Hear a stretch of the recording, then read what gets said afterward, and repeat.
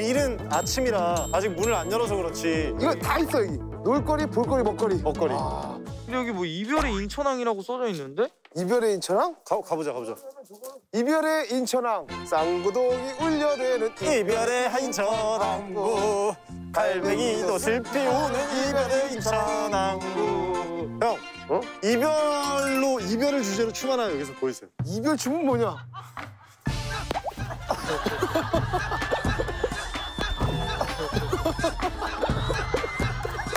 간다. 이 정도면 형 댄스 자판기다. 와. 그냥 진짜 누르면 나오는 거야. 버튼 누르면 나와.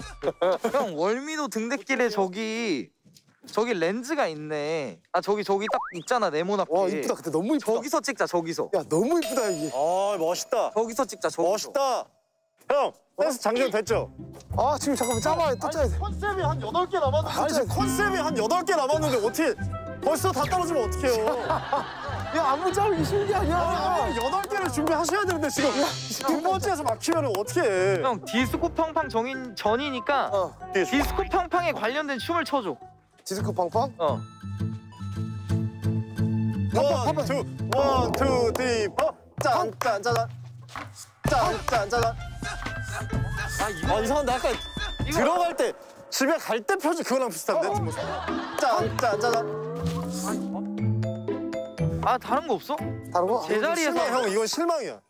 실망이야.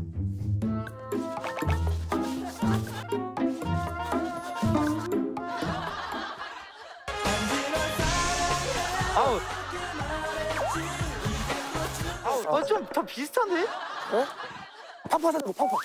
어이구 좋아. 이거 앞으로 앞으로 나가는 거 이렇게 팡팡. 어이구 좋아. 이거 앞으로 앞으로 나가는 거 이렇게 앞으로 가서. 아, 형, 컨셉이 8개가 넘게 남았다니까요?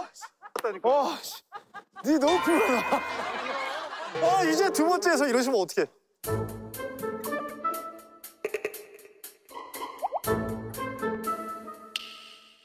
이러시면 어떡해. 어, 이거 좋다. 이거 좋아 이거 어, 이거 좋다. 이거 좋아 좋아 이거 좋아 이거 어, 이거 좋아 이거 좋아 어떻게 아, 정말 이제 시작하더라며.